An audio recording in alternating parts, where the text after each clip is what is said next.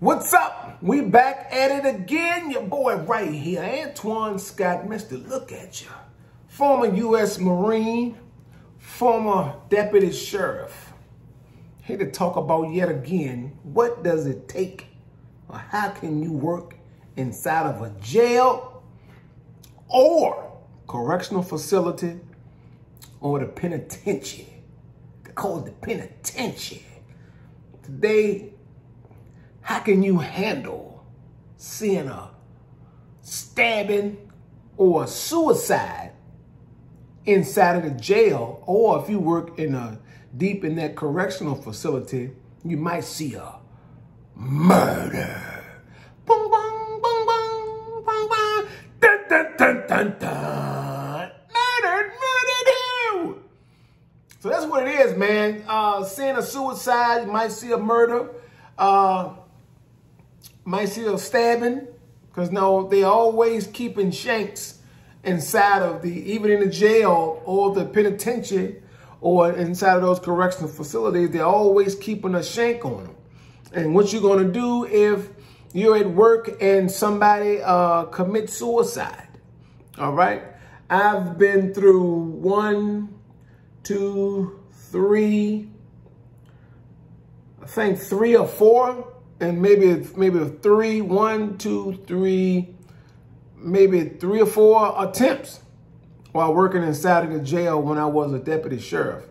And what do you do when you see a suicide has been committed? When you see the dead body. If you've seen the movie, uh, oh my God, Ice Cube, Ricky!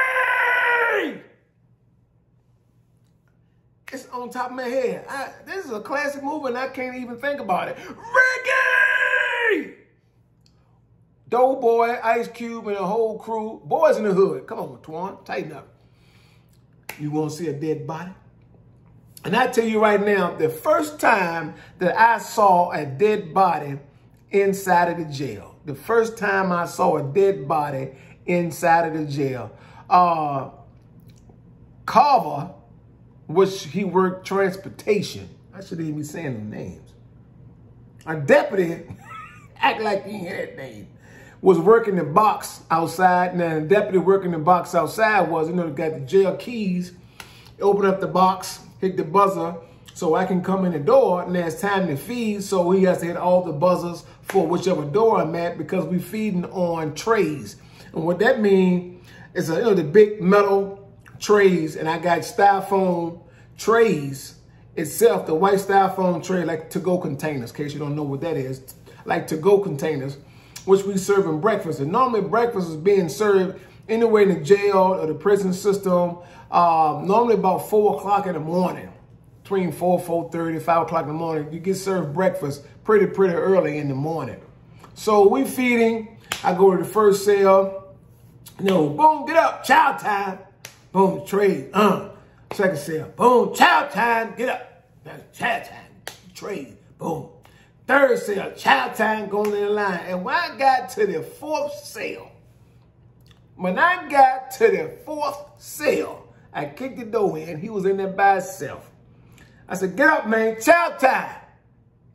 You want your tray? So I talked to him. You got to talk. Wake him up. Get your tray. You want your tray?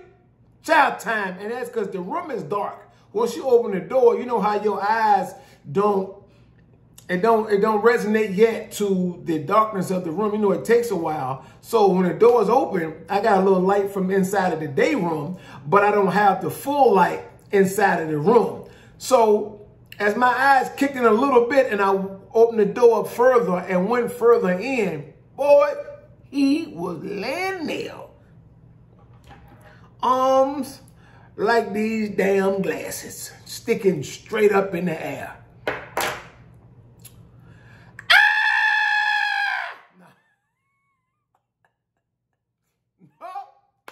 I ain't scream, but I went out that joint so fast. Now, hey, I've been in Marine Corps, military. Keep, I'm gonna keep it 100 with y'all. I've been in the military, law enforcement, couple of juvenile correctional places before I came to the deputy, being a deputy. Hey, I ain't never seen no dead body before. I'm keeping the 100. I ain't never seen no dead body. And when you see it for the first time, it takes you back a pause or two. Whoa! Man, haul ass up on that damn day. I haul ass. He dead. He dead. He dead. They said, Scott, what's going on? The dude working the box now, he was an older deputy. He, matter of fact, he been in Vietnam. So I'm like, he did, he did. I done dropped the breakfast trays. Damn that. That is not my priority right now. Y'all gonna eat. But right now, we got rigor mortis done set in on this damn body in here. And uh, uh, he, uh, he did, he did. So we call, you know, assistants in day room 20 or something, whatever, what, day room 20 or something. Boom. Everybody start coming in. We call medical. Medical come around to day room, dot, dot, dot, dot, dot. So everybody coming in.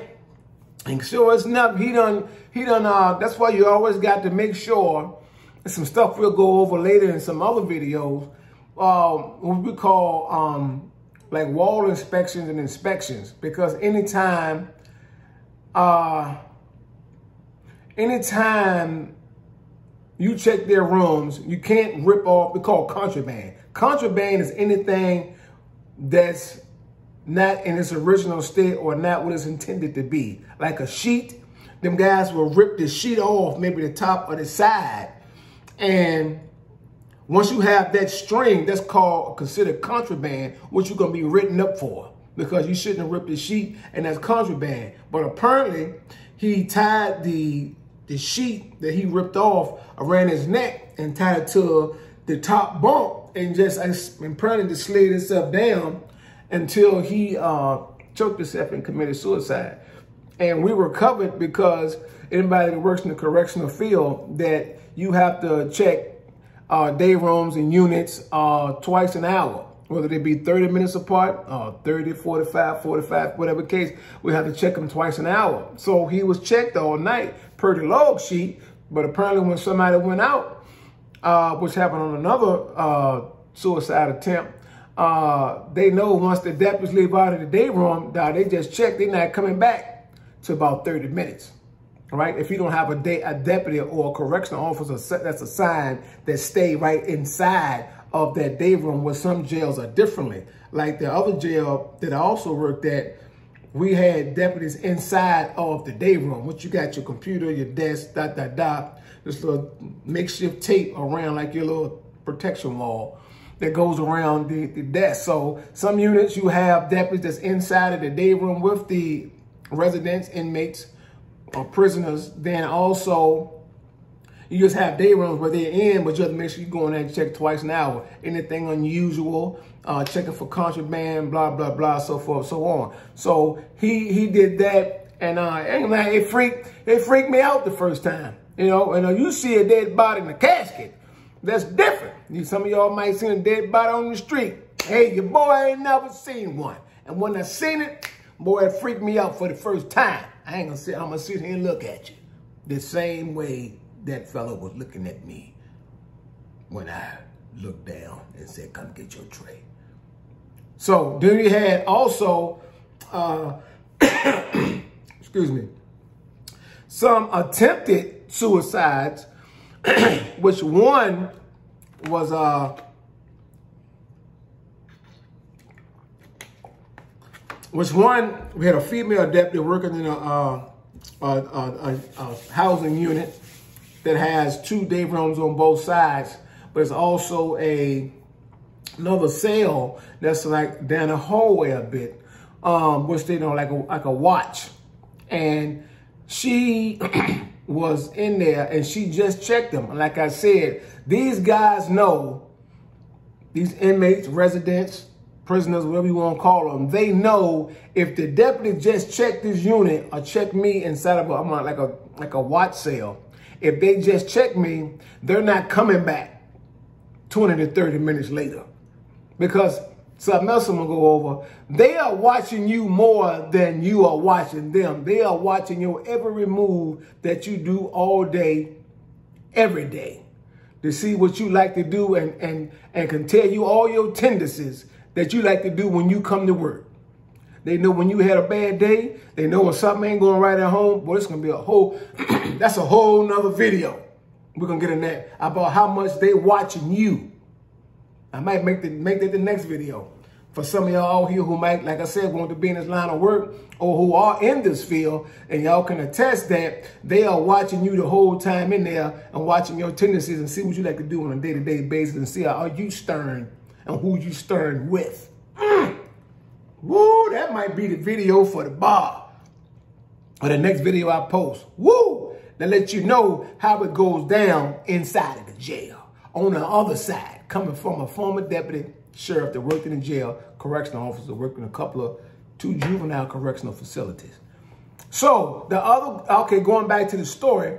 So she just starts screaming on the radio, sitting there in, there in the shoes, sitting there in the shoes, sitting there in the shoes. So we get down there and I get there now, the sergeant on shift, open up the cell, and what we have as supervisor, we have called a cut down knife.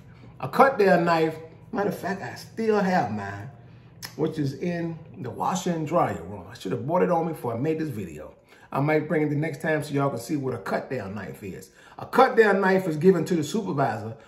It's not, it's a blade, but it's a blade, but it come, but it comes out, but it's like a U, right? It's like it's a U shape like this and goes back like this. It basically has a hook like this. And basically all it is, all, all it is, it's a, it's a blade inside of here. It's a blade right inside of here because that's the blade to when you cut down somebody with a sheet or an object around their neck, you get there quickly and you do like this with the cut down knife, the way it cuts them down. So I pulled out my cut down knife when the uh, female deputy had held them up to take the weight off of the contraband around his neck. Took my cut down knife about two times and I had uh, cut down the, the object that he was trying to hang himself with. And luckily, uh, started, started doing CPR. The nurses came around, and luckily and blessingly, we saved this individual. But it goes to show you how fast it can happen. And what, talking to her after it happened, as she was writing her report, another thing I'm gonna get into, incident report and report writing. Some of y'all skills not up to par if you work inside of that field. So, as she was stating to me that before she start writing her incident report because you want to make sure you write it down when it's fresh in your mind. Also, if you, you got uh, notepads that you should be given, handed out by your supervisor or by the jail or where you work, it's a small pad like a pad or you can stop at a dollar store. I always keep you a pad in your pocket. I always kept me a pad that I did my head counts on. Also, you keep your pad so you can make write down all your notes, especially when something happened, whether it's a fight, a suicide attempt or whatever it might be, you want to make sure you write down your times and your notes. So when you go back and write your incident report, you can make sure everything pairs up. The CYA. If you don't know what that means, that means cover your ass. Look at you. You want to make sure you always CYA. So prior to her writing her incident report, she had told me, this goes back, some of you might hear woman intuition. Woman intuition, woman intuition, woman intuition. She said, Sarge, I was sitting here. I just checked them. And she said, as soon as I sit down, she said, something just told me they go back and check him again. She said, because when I talked to him, when I was just back there, he said he was fine. Holding conversation, didn't show no signs of he wanted to do anything to himself as they do. He ain't show no signs he want to do anything to himself or nothing. She said, I went in there checked on him, talked to him. He was fine. I came back and sat down. And she said, something said, get up and check him again. She said, something ain't right. And that's when she got up, went back there and saw him trying to commit suicide by trying to hang himself. And he was, uh, uh, uh, he was in his last days when she called and opened the door and then she started holding him up. And that's when I came around and cut him down with the cut down knife, started doing CPR on the young man. And medical staff came around. We was able to save this young man's life. But that's just some of the stuff that goes down inside of the jail and the correctional facilities. I can't speak on it because I never worked inside of that, what we call the, the prison system, the penitentiary. And then the stories I heard from individuals that came from the prison system that came to the jail they got far worse. Because when you got somebody that got life, what what what what what I care about what huh? When you say who you talking to? Boy, I got life plus but if I die, I got to come back and do 38 more years. Who you talking to? Yeah. Then another quick quick story too before I let y'all go. Uh, this one, this one, the, the inmates, they ain't got time for it and getting locked down because you want to do something to yourself. This is in the middle of the daytime. Deputy! Deputy! Deputy! Deputy! Deputy! We go running. What, what's going on? What's going on? Inmate said, man, come get this damn fool up here trying to kill himself. So we all go in the day room, boom, boom, boom, and lo and behold, he was trying. It was a damn shaky attempt. But that's something they had time for. And as we taking him out, man, you can hear all the guys, man, get your ass up out here, man. I got time for that, man. They don't feel lock us down, man. They, it was something coming on, I think, that night. They said, man, something, something was coming on that night. They weren't trying to hear Deputy, this man literally told me, man, that man up there, man, trying to kill himself, man. Get, get this damn man up out here. That's exactly what he told me. Get this man up out here. And we rush in, like I said, he trying to do some harm to himself. Man, they said, man, and we come down the steps with the guy. They said, man, get his ass up out here. Sometimes the inmates, residents, who we want to call them, they ain't got time for no foolishness. Get his ass up out here. Oh, boy, I got some stories I'm going to tell y'all. If you want to work in a correctional facility, if you want to work in a jail, how do you work? Can you work inside of the jail? And what goes down inside of the jail? Because your boy Antoine Scott, a.k.a. Mr. Look At You, that was my life before this life of a stand-up comedian. Boy, I'm going to sit here and look at you. Until next time, can you do the line of work? Can you? Well, I'm going to sit here and look at you.